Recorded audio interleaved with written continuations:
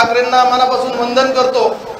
अखंड हिंदुस्थानचे हिंदूंचे सर्व सर्वसमावेशक हिंदुत्वाचे चेहरा माननीय शिवसेना पक्ष प्रमुख उद्धवजी ठाकरे साहेब यांना मनापासून वंदन करतो.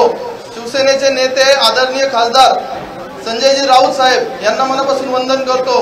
पुणे जिल्ह्याचे संपर्क प्रमुख आमचे मोठे बंधू वेळोवेळी आम्हाला योग्य मार्गदर्शन करणारे सचिन भाऊ आईर यांना मनापासून वंदन करतो. हर्षलजी प्रधान साहेब ज्यांनी वेळोवेळी मला मार्गदर्शन केले मिलिंदजी नार्वेकर साहेब तसेच आमच्या पिंपरी चिंचवडमधून आलेले सर्व निष्ठावान कार्यकर्ते आणि शिवसेनेच्या ज्येष्ठ नेत्या आपल्या आक्रमक शैलीसाठी प्रसिद्ध असलेला सुलभाताई उबाळे आमचे मोठे बंधू एकनाथ भाऊ पवार धनंजय भाऊ आल्लार संजय वगैरे पाटील सर्व पिंपरी चिंचवडमधील पुण्यामधील पदाधिकारी आणि आता शिवसेनेच्या माझ्या प्रवेशाला साक्षीदार असलेले माझे सगळं मित्रपरिवार सगळं बंधू सर्वांचं मनापासून आभार व्यक्त करतो. साहेब आमचं कुटुंब जनसंघापासून भारतीय जनता पक्षाचं काम करत होतं.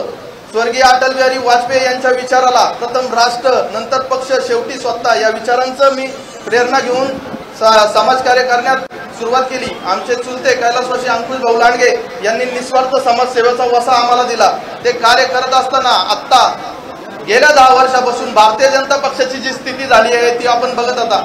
पूर्ण व्यावसायिकीकरण झालेलं आहे. आमच्या भोसरीमध्ये भ्रष्टाचार हुकुमशाही दहशतवाद तसेच सत्तेचा गैरवापर खोटी आश्वासनं हे सरस चालू आहे. आपण मला बाळासाहेबांचा एक सच्चा शिवसैनिक बनायची संधी दिली. मी इथून पुढे आपल्याला या निमित्ताने सांगू इच्छितो भोसरीमधील भ्रष्टाचार हुकुमशाही आणि दहशतवाद हा मोडूनच काढील परंतु बाळासाहेब बाळासाहेबांचा सच्चा शिवसैनिक बनत आणि